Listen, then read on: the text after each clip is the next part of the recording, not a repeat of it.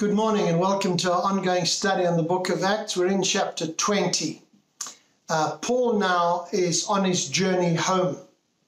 He started on his missionary tours in AD 45, and we're 12 or 13 years later. He ends up Jerusalem in AD 58. So 13 years of ministry, basically intense ministry for Paul. He now travels down the west coast of Asia Minor, passes by Ephesus and docks in at Miletus, some kilometers south, and then requests for the elders from Ephesus to come down to him so he can give them what is called a charge. The charge in the second half of chapter 20 of Acts can be divided into four. The first part is what I would call his track record. He lays out his track record for them. The second part is he then indicates what his plans are in terms of what the Spirit has been telling him. The third is their formal charge when he charges them and encourages them to complete the task as laid out for them. And the fourth then is their response when he tells them what his future will be. He says, You know how I lived the whole time I was with you from the first day I came into the province of Asia. He's now saying, listen, you can see how I've lived. His life has been exemplary and he's going to tell us, but he's been a model. And Paul was often heard to say, follow me as I have followed Christ. And each Christian should be able to do that by way of application. We should be able to model Christ and say, others follow my example. So that's what Paul says. You know how I've lived since I've been first set foot in Asia. He then says, I served the Lord with great humility and with tears, although I have severely tested by the plots of the Jews. You know that I have not hesitated to preach anything that would be helpful to you, but have taught you publicly and from house to house. I have declared to both Jews and Greeks that they must turn to God in repentance and have faith in our Lord Jesus. Then he says in verse 26 Therefore I declare to you today that I'm innocent of the blood of all men for I have not hesitated to proclaim to you the whole will of God. So, what he's saying is, you know, it's been a tough time for me. We've been under huge pressure and harassment and imprisonment from the Jews, but I've preached publicly and from house to house, and I haven't hesitated to declare to you the whole counsel of God. I'm innocent of your blood. And we know through Paul's ministry, the whole province of Asia came to hear about Christ, and many, many came through to faith. And a similar thing happened in Europe. So Paul's able to say, My life has been exemplary. I've acted in humility. I have wept at times and cried for under the pressure we've been under, but also wept for the potential converts that the Jews have pulled away from me. And so it's been a tough, tough run for him these 13 years. He then goes on in verse 33 I have not coveted anyone's silver or gold or clothing. You yourselves know that these hands of mine supplied my own needs and the needs of my companions. In everything I did, I showed you that by this kind of hard work we must help the weak, remembering the words of the Lord Jesus himself when he said, It is more blessed to give than to receive. So Paul's able to say, I've never taken from you. I've never been a burden to you. I've never abused your hospitality. My own hands have worked hard as a tent maker to support myself and my companions. We've been a blessing to you and we haven't drawn on you. And that's a lovely thing to say that it's you haven't had to support me, he's saying. I've supported myself. So it's a lovely witness and testimony. He remember he spent three years in Ephesus. So that's his track record, his CV, as it were. Now we move into the second half where he tells them his plans. Verse 22 And now, compelled by the Spirit, I'm going to Jerusalem, not knowing what will happen to me there. I only know that in every city the Holy Spirit warns me that prison and hardships are facing me. However, I consider my life worth nothing to me if only I may finish the race and complete the task the Lord Jesus has given me the task of testifying to the gospel of God's grace. So while Paul's been traveling, various prophets have come and said, Listen, when you go to Jerusalem, you do know you're going to be arrested and imprisoned. And yet Paul goes anyway because he wants to discharge the call that God has given him. He wants to get to Rome. He doesn't know how that's going to happen, but actually gets arrested in Jerusalem and eventually gets shipped out uh, as a prisoner to Rome.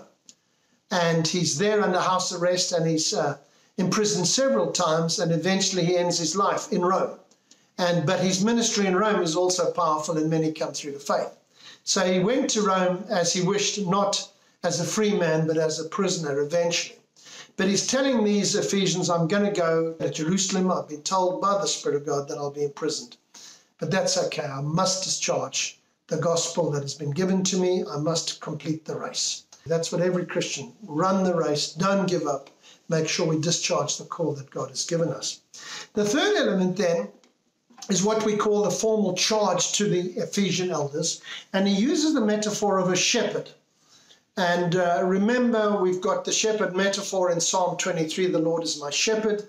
We've got Jesus teaching in John 10 about the shepherd calling out the sheep by name and them following him and listening to his voice. So, with that as the background, which they would all have been aware of, we get these words Keep watch over yourselves and all the flock of which the Holy Spirit has made you overseers.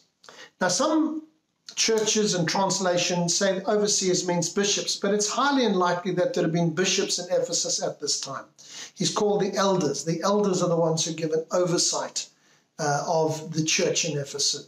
Ephesus. So overseer means what it says. They're overseeing the work here. And he says, Be shepherds, look after the people, love them, care for them, nurture them. Be shepherds of the church of God, which he bought with his own blood. Remember, the church and the people under our care are not ours. They are the Lord's. They belong to the Lord. He's purchased them with his purchased them with his precious blood. Look after them. And now another role that the shepherd has is to protect them. And so he warns of the dangers that will assail the church in days and years to come. I know that after I leave, savage wolves will come in among you and will not spare the flock. Even from your own number, men will arise and distort the truth in order to draw away disciples after them. So be on your guard. And so the responsibility of a shepherd, a pastor, a house group leader, even a family leader, is to look after those under your care and be careful of Satan's attempts to try and uh, pull people away from the kingdom of God. We know he does it by persecution and by temptation, but one of his main ways is by deception.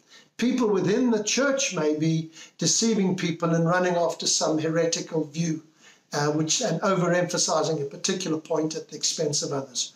Watch that and say now he commits them into God's care of his word, because when we're based on the word, we can protect ourselves against the savage wolves. Now I commit you to God and to the word of his grace, which can build you up and give you an inheritance among all those who are sanctified. So he says, Beware of wolves, I'm committing you to the word of God's grace, basically. Stand on the word and you'll be safe, and there'll be an inheritance that has been prepared for you in glory. And then, fourthly and finally, we get the response of the Ephesian elders when he has told them he's about to leave. When he had said this, he knelt down with all of them and prayed. They all wept as they embraced him and kissed him. What grieved them most was his statement that they would never see his face again. Then they accompanied him to the ship. So Paul had been with them for three years, and now he says goodbye, and they're brokenhearted. He's given of himself, he's poured himself out. People have come to faith in Christ, their families are Christian, they're worshipping and loving the Lord, they're serving the Lord, the church is on fire, and Paul's about to leave after a long term ministry. And they are broken up about it. And so they weep, they hug him, and they bid him farewell. And it's a, it's a good testimony to Paul's ministry that he didn't leave with a bad odor, but left with the blessing of the church, knowing uh, that he was loved by them and appreciated by them. Friends, the application I think is fairly obvious. We are shepherds of the flock. Our lives must be exemplary and we must uh, represent Christ wherever we go, always discharging the call of God on our lives and being faithful to the end, running the race right to the end, crossing the finishing line, and entering glory. Bless you as you seek to do that. Let's pray. Father, we thank you for this teaching today. May it impact our lives, and may Paul be a model for all of us in terms of how to do ministry. We ask your blessing on each of us and our families in your precious name. Amen. God bless you. We'll see you tomorrow.